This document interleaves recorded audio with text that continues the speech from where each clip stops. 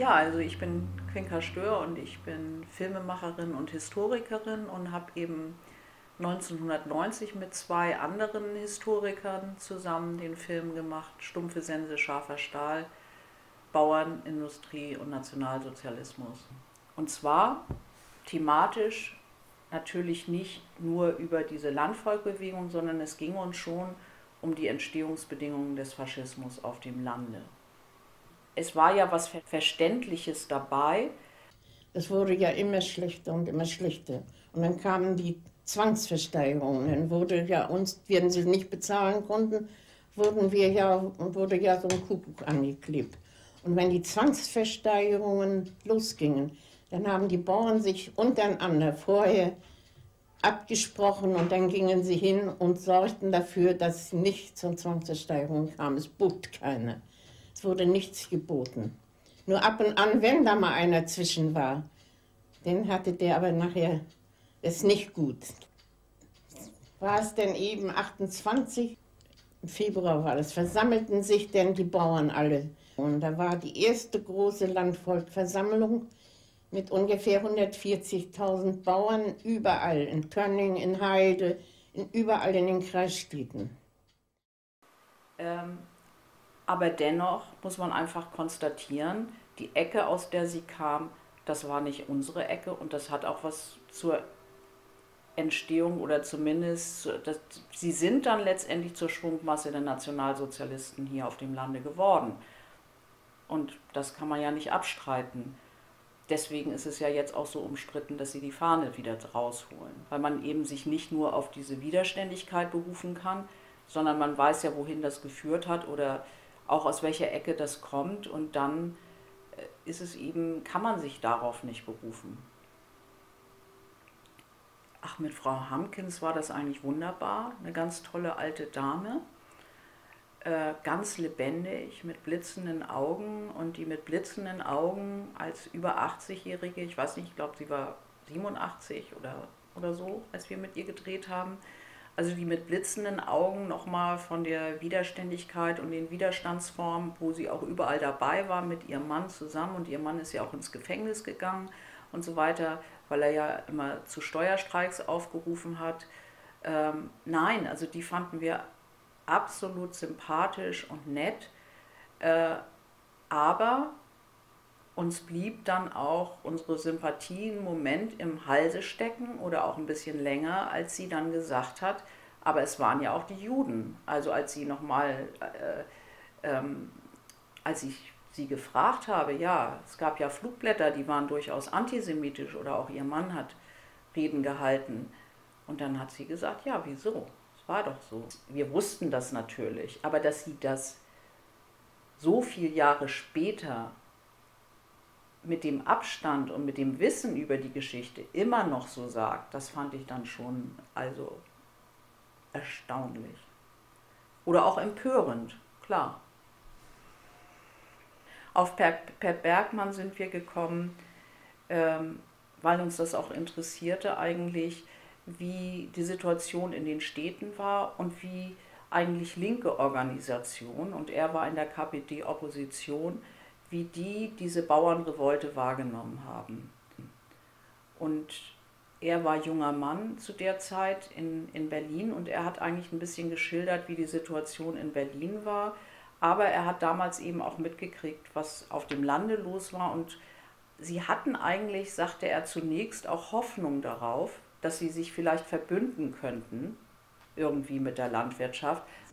Das verfolgt hat man das. Natürlich hat man es gewusst, hat auch Hoffnung drauf gesetzt irgendwo, dass die sich irgendwie so vereinigen würden mit uns in den Städten oder was. Nicht? Natürlich hat man das gehofft. Aber, aber dann wurde, war es dann doch klar, dass die Bauern, so wie er sagte, auf der anderen Seite stehen. Das, das denke ich, ist ja auch der Film, was der Film dann letztendlich zeigt, wie die Interessen oder wie die, ja, wie die Bauern eigentlich benutzt wurden.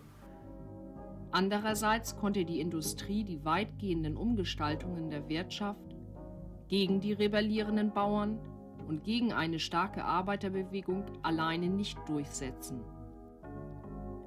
Eine Chance, den industriellen Planungen die nötige Massenbasis zu verschaffen, bot in dieser Situation die NSDAP. Da erscheinen die Leute von der Partei bei mir und sagen, Petersen, sind Sie bereit, für uns als Redner, äh, als agrarpolitischer Redner aufzutreten? Sie sind hinreichend als solcher ausgewiesen durch Ihre Tätigkeit in der Landvolkbewegung. Also wir können ohne weiteres Ihre Forderung, die Sie in der Landvolkbewegung vertreten haben, auch von der Partei aus übernehmen, buchstäblich und, oder die Interessen der Bauern benutzt wurden und sie das eigentlich gar nicht bemerkt haben. Und dass die NSDAP dann auch die Politik umgesetzt hat, die andere, also zum Teil umgesetzt hat, die andere, äh, äh, ja, vielleicht andere gewollt haben, dass sie sie umsetzen. Ne? Und das ist eben die Geschichte von Alfred Sohn Rethel, der eben selber in dieser Organisation der Industrie war, als Vordenker und das mitbekommen hat und dann ja später dieses Buch geschrieben hat, Ökonomie und Klassenstruktur des deutschen Faschismus und eben darauf hingewiesen hat. Und auf den waren wir eben gekommen und deswegen ist er auch in dem Film. Also sie hatten eigentlich mit den Arbeitern in dem Sinne weder ideologisch noch tatsächlich etwas zu tun. Und die Landarbeiter, die jetzt auf den Gütern gearbeitet hatten, die waren in der KPD teilweise und waren da organisiert. Aber die Bauern, die fühlten sich eben nicht den Arbeitern nahe. Oder haben sich auch nicht solidarisiert mit den Arbeitern, obwohl es interessant war, dass nämlich im, äh, dann unter, also im Dritten Reich dann tatsächlich, oder im sogenannten Dritten Reich, muss man ja sagen, dass da dann die äh, aufgrund von Erbhofgesetzgebung es so war, dass die Höfe nicht mehr geteilt werden konnten. Das heißt, bestimmte Erben gingen leer aus und die sind dann in die Städte gegangen, weil sie da besser verdienen konnten. Und die sind ja natürlich zum Teil dann dort auch Arbeiter geworden. Also das ist ja so gewesen, dass hier in Schleswig-Holstein vor einem Jahr äh, oder ein bisschen über einem Jahr äh, Bauern also 350 bis 400 Bauern mit ihren Treckern diese Fahne der Landvolkbewegung in der Nacht nachgebildet haben und äh, das mit Drohnen aufgenommen haben und das viral gesendet haben sozusagen. Und das ging dann eben viral, das haben wahnsinnig viele gesehen.